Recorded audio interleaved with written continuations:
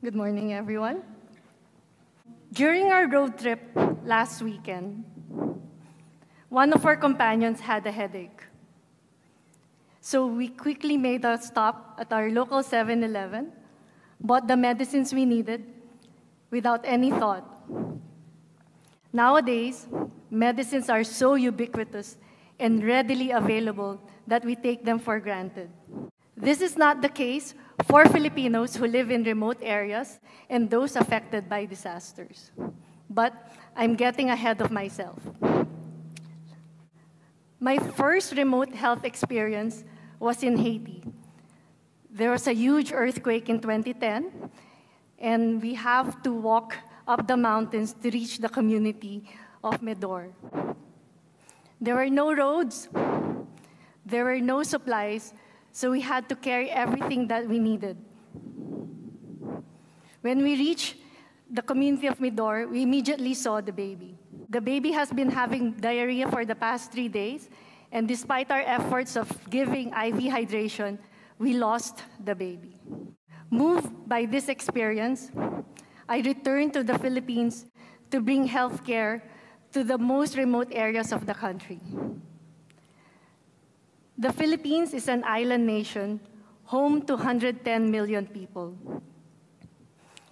However, we know that the country's diverse terrains and um, extreme weather conditions pose significant challenges in delivering medical services to those 50 million still living in those remote areas. As a consequence, these people living in poor in these remote areas experience poor health outcomes due to the lack of access to services and medicines. In remote communities such as Barangay Binakalan, the habal-habal is their only way of moving around. And the habal-habal is a motorcycle where locals creatively added wooden panels to accommodate up to 10 passengers. And in the islands of Tawi-Tawi, this small boat is their only way to travel between these islands. And in both cases, transportation can be very difficult. The trips can be very expensive, especially for locals. They are prone to breakdowns, they don't run regularly, and they're highly prone to accidents. This is the reason why delivering medical supplies in remote communities can be extremely difficult and sometimes impossible. On a long boat ride to one of our remote clinics, I had the idea. The quickest way to get these medical supplies to these remote areas is to fly using drones. But the drones have to travel very long distances, and they also have to travel beyond, beyond visual line of sight across mountains and oceans. And they also have to carry cargo with them. Were the drones capable of doing this? I didn't know. I was not a drone expert, but I could definitely find out. So in 2015, I reached out to Patrick Meier, a leading global expert on the humanitarian use of drones, and he connected me to Engineer Cruz, who's a local drone expert. And together, we formed the Philippines Flying Labs, and we have overcome numerous obstacles to bring medical cargo delivery here in the Philippines. We wanted it to be affordable, so we started with an off-the-shelf um, drone that from the same maker used by YouTubers and Instagrammers.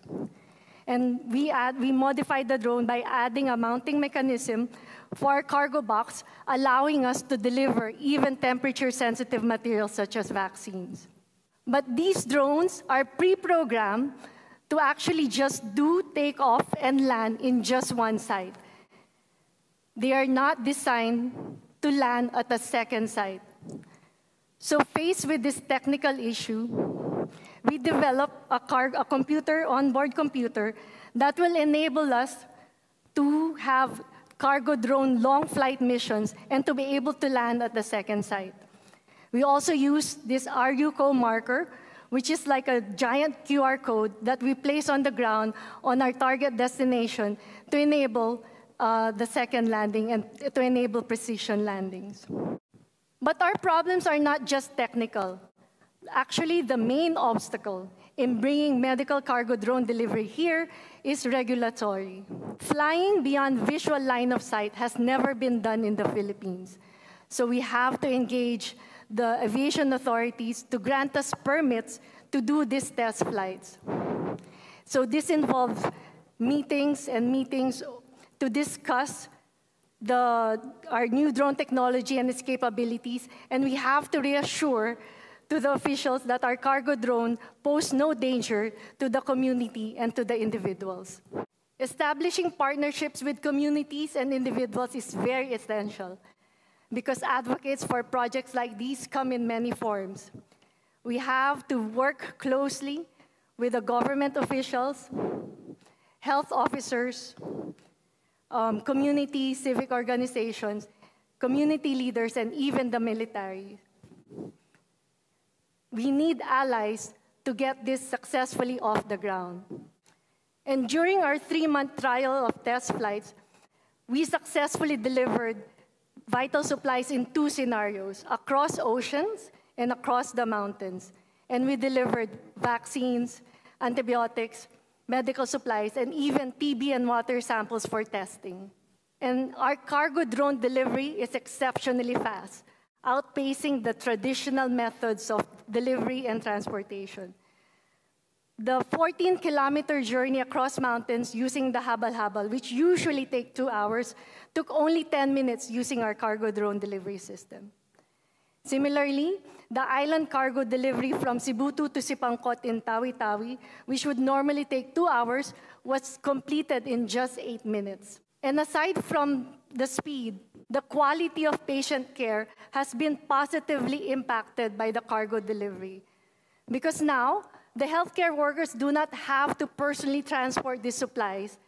They have more time and energy to provide high quality care to their patients. These drone deliveries were significant milestones.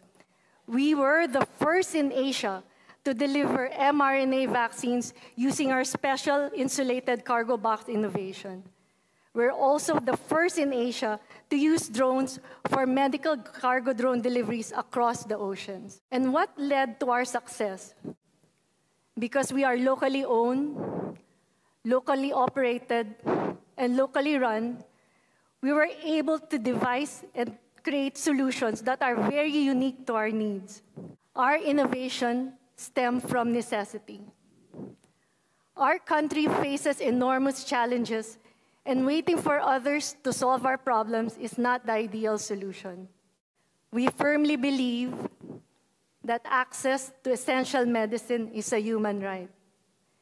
And our cargo drone delivery system offers a new solution to ensure that every individual, regardless of where they live, have access to these life-saving medicines. So let us all look to the future, to the world where medicines are as readily available as they are in our local 7-Eleven stores. Thank you so much, and thank you for listening.